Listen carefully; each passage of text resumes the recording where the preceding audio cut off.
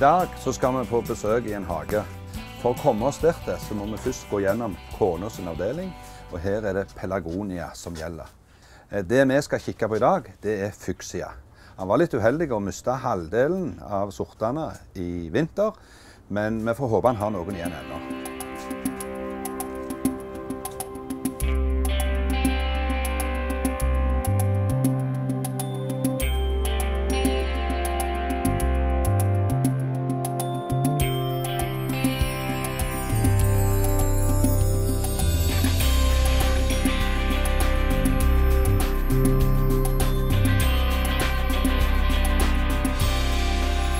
Ja, Odd, du var uheldig og mista en del i vinter, men jeg ser du har jo en del igjen. Ja, de store og fine, de har jeg jo.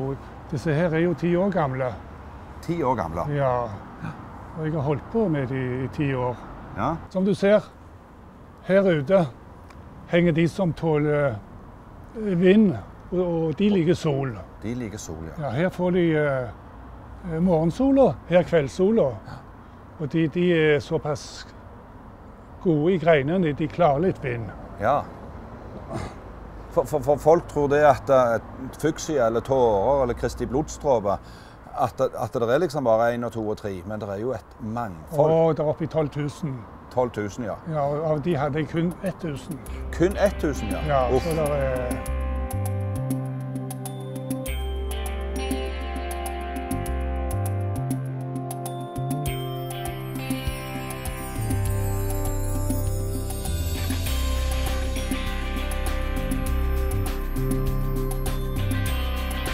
Her er den uh, Procumbus. ja, den gule. Ja, den, den eneste som vokser opp gjennom. Veldig små blomster, men veldig fine. Ja, Minner litt om husfred, faktisk. Ja, Og så får vel den noen store, fine bær, hvis den ikke plukker de av. ja.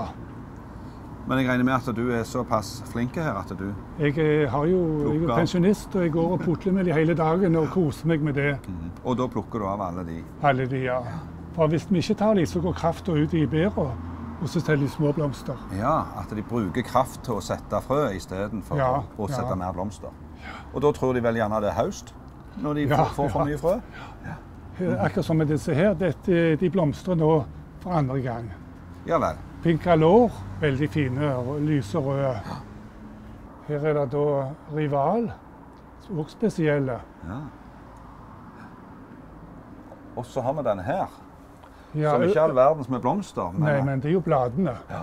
Det er veldig fine blader. Blomstene blir bare små, små røde blader. Små blomster. Aha. Men bladverket er jo fint. og så veldig rett utadvoksa. Ja, de, de, de forgrener veldig godt.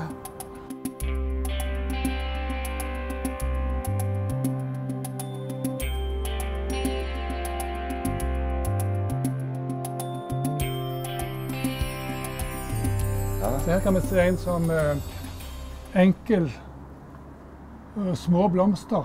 Men han blomstrer jo så godt. Mhm. Mye blomster. Eh, den må også stelles, ta vekk de gamle. Også disse her fruktknotene. Men, men, men sånn som med næring og gjødsel, hvordan gjør du det? Ja, der gir jeg eh, med nå oransje superbe Ja. eh, annenhver dag. Eh, Ei teskje, ti liter vann.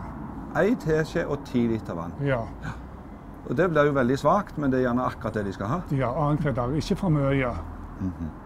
Sånn at de som tror at de kan gjødsle en gang i april og en gang midt i Ja, juli, det- de, de får ikke ikke mye ut av det. nei, men de skal ikke ha for mye heller. for Da får de så mye bladverker for få blomster.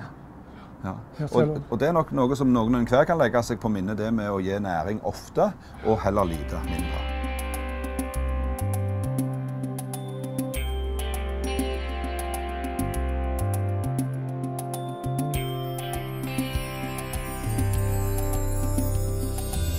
Men jeg ser det, du har ganske mye overbygd av eh, til fuchsiaene. Ja, det har gjort for at eh, de liker ikke så godt plaskende regn. Nei.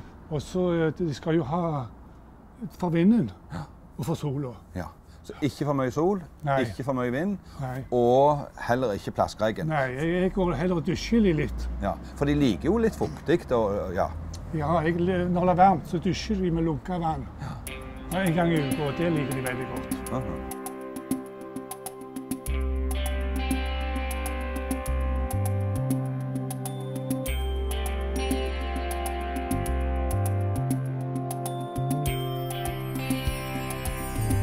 Hva er det som fascinerer deg mest ja, med, det, med Det er jo mang, mangfoldet. Ja. Og de er jo forholdsvis lette å ha hvis du passer på dem. Ja. Og relativt lette å ta stiklinger av òg, kanskje? i forhold Ja, som, her ser du jeg har tatt noen stiklinger. Ja. Det er, de, det, det. det er de siste jeg har tatt. Ja. De, Så de har du tatt nå i sommer? de er tatt nå i sommer, ja. Mhm. Og du kan se det er allerede blomster på. Ja. Så, så, så vanskelig er det ikke. Nei. Og hvis du vil ha dette til å bli en fyldig plante, så Så klipper jeg den av her, ja. og så går den ut i akkurat som Den har jeg tatt. Den Den går den ut i tre. ja. Og så kan du ta, ta klype av igjen, og så blir det tre til. Ja. Og så får du en fyldig. Ja. Hvis, hvis jeg da vil ha en oppstamme, så tar jeg av disse her som, kommer på sidene, ja. og så slipper jeg den opp. Og så lager jeg kroner på toppen. Sånn at da tar du av alle greinene som stikker ut, men Ja. ikke bladene, Ikke bladene. før du har fått kroner. Ja. Aha. Og her har vi en som heter Piggalår.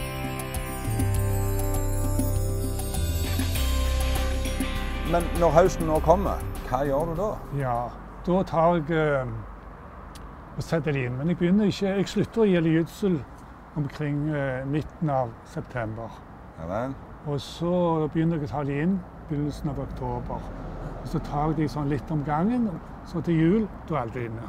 Ja vel. De, de, de, eller en mild sommer eller mild vinter, så kan de eh, stå her hele året. Aha. Men blir det en kald vinter, så tåler ikke det, for de tåler ikke frost. De tåler ikke frost, Nei. Og det ideelle på vinteren, Da har jeg eget hus til de, Ja. altså term- termostat. sånn fi- fire til åtte grader. Ja, fem-seks grader. Ja. For kommer de over Eh. åtte, så begynner de vel gjerne å skyte, tror du det? Tolv. Er det tolv de skyter? Ja. ja. Mm. Eh, Så i begynnelsen av eh, april, da tar de ut drivhuset, klipper de. Og Du så- klipper de ikke om høsten? Nei, da setter de inn grønne. Ja. Og så mister det. de lauv etter hvert som de tørker ut? da, eller? Ja, det gjør det. Og så passe på å du ha de inn. Jo tørrere du setter de inn, jo lettere kommer igjen året etterpå. Ja. Jo blautere de er, til, til lettere råtner de. ja. Og når du setter de inn med alle bladene på, så tørker de jo mer ut. For De gjør det. de De det. gjør det. De må stelles, skal de være fine.